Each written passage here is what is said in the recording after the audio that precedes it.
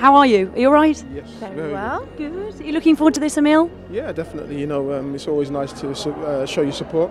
Uh, obviously, Chantelle's got her own foundation that she does, and uh, which helps uh, underprivileged kids in South Africa. So you always, it's always um, nice to help.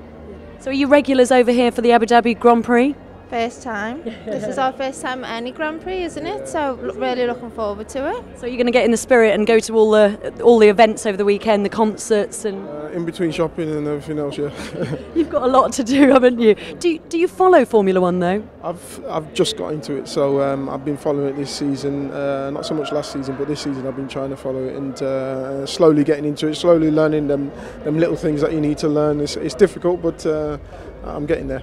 Sure, we'll be fans after after this weekend anyway.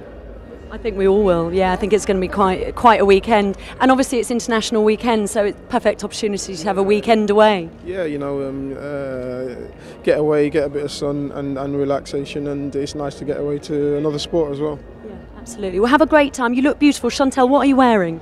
Um, last minute dash to the shops today. I know. So I think it's Versace collection and Gucci shoes. Gucci shoes, Versace. You look beautiful. Thank you so much. Have a good time. See you later. Bye.